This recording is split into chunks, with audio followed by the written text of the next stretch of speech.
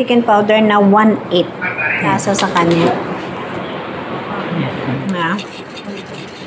Tsaka flakes. At saka kay. Kaya.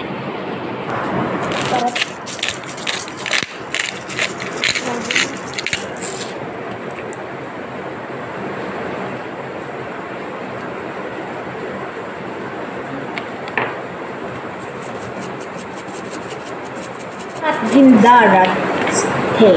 Okay, thank you.